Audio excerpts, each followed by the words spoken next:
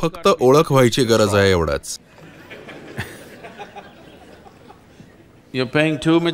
तुम्ही आजूबाजूच्या. सर्व गोष्टींकडे अतिलक्ष देताय. या एकाकडे पुरेसं लक्ष नाही. पण तुमच्या जीवनाची गुणवत्ता ही तुम्ही एका माणसाला कसं सांभाळता यावरच अवलंबून आहे. हो की नाही? या क्षणी तुम्ही कुठल्या प्रकारचे कपडे घातलेत? कुठली गाडी बाहेर पार्क केली आहे किती मोठ्या घरात राहता यानं तुमच्या जीवनाची गुणवत्ता ठरत नाही. या क्षणी तुम्ही तुमच्या आत किती आनंदी आहात यावरच तुमच्या जीवनाची गुणवत्ता ठरते असं आहे की नाही? पण याबद्दल आपण काहीच केलं नाहीये. तुम्हाला वाटतं आनंद हा शेवटचा परिणाम असेल आणि तुमच्या आनंदासाठी तुम्ही अशक्य अटी घालताय. मी आनंदी व्हायचो असेल तर माझी बायको अशी असली पाहिजे नवरा तसा असला पाहिजे मुलं अशी असली पाहिजेत जग कुठल्या वेगळ्या प्रकारे असलं पाहिजे. तर या अशा अशक्य अटी तुम्ही तुमच्या आनंदासाठी घालून ठेवल्या आहेत. आता जेव्हा की तुम्ही केवळ मनशांतीवर समाधान मानायचं ठरवलंय मनशांतीवर समाधान मानताय असं मी म्हणतोय कारण अनेक लोकांनी उल्हसित किंवा आनंदी व्हायची आशाच सोडून दिली आहे. मी शांत असलो तेवढंच पुरे. आता तर तथाकथित आध्यात्मिक गुरु सुद्धा सांगतायत की शांती हेच आयुष्याचं परमोच्च ध्येय आहे. शांती हे काय तुमच्या आयुष्याचं अंतिम ध्येय नाही. तुम्हाला आज तुमचं जेवण नीट जेवता येण्यासाठी तुम्ही शांत असणे गरजेचं आहे. हो की नाही?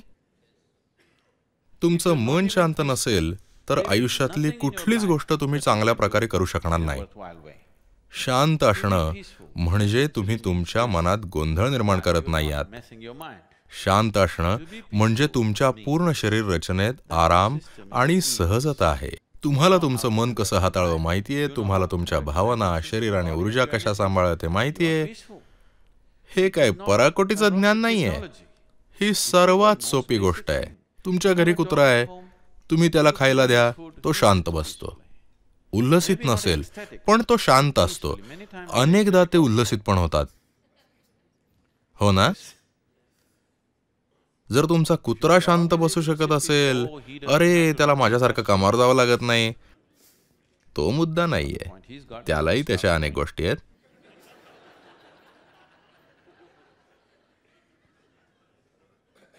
हे पहा याचा तुम्ही बाहेर काय करताय? याच्याशी काही संबंध नाही. याचा तुमच्या आंतरिक रचना कशा काम करतायत? याच्याशी संबंध आहे.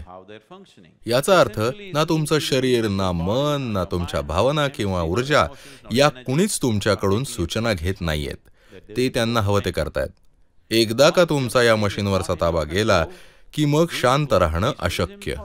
तुम्हाला सांगतो तुम्ही तुमच्या कारमध्ये बसलात तुम्हाला ती अशी वळवायची आहे तुम्ही स्टिअरिंग असं करता पण ती तशी जाते. ही कार तुम्ही शांतपणे चालवू शकाल का? चालवू शकाल का? नाही. अस्वस्थता स्वाभाविक आहे. नाही का? हीच गत तुमच्या गाडीशी झाली आहे. ती नियंत्रणाबाहेर गेली आहे. तुम्ही कधी शोधायचा प्रयत्नच केला नाहीये की याचं स्टिअरिंग कुठे आहे.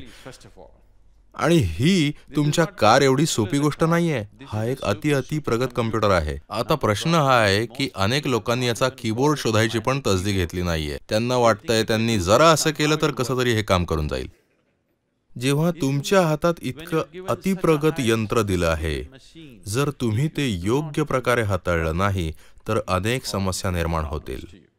अनावधानांनी ते घडतंय. लक्षात घ्या हे असं बनलंय की जर तुम्ही तुमचे हात असे ठेवले तर श्वास एका प्रकारे चालेल. आणि उलटे धरले तर फुफ्फुसांमधली श्वसनाची रीत पूर्णपणे बदलतीये. तुम्ही हवं तर हे करून बघू शकता वेळ असेल तेव्हा. असं आणि असं.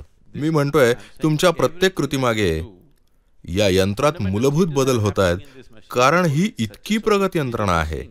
हे टचस्क्रीन होऊन पुढचं आहे. नुसत्या विचारांनी यात बदल घडतायत. जेव्हा तुमच्याकडे इतकं संवेदनशील आणि प्रगत यंत्र आहे आणि तुम्ही लोहाराप्रमाणे ते चालवताय तर शांत राहणं नक्कीच कठीण वाटेल. शांती हे काही आयुष्याचं अंतिम ध्येय नाही ही तर अगदी मूलभूत गरज आहे. शांतीला कधीच अंतिम ध्येय मानून चालू नका. तसं केलं तर तुम्हाला मिळेल ती फक्त चिरशांती.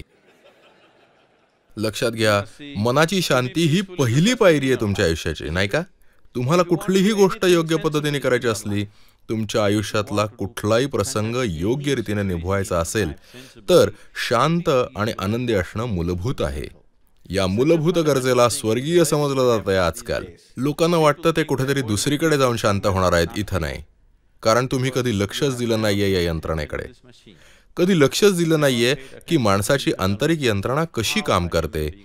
तुमच्या आत घडत असलेल्या सर्व गोष्टींचं मूळ काय आहे? यासाठी थोडं लक्ष द्यावं लागतं. म्हणून आमच्या प्राथमिक शिबिराचं नाव आहे इनर इंजिनिअरिंग आपण सगळं जग आपल्याला हवं तसं इंजिनियर केलंय. पुष्कळ आराम आणि सोयी आल्या आहेत. पण मानसिक स्वास्थ्य नाही आलं हो ना?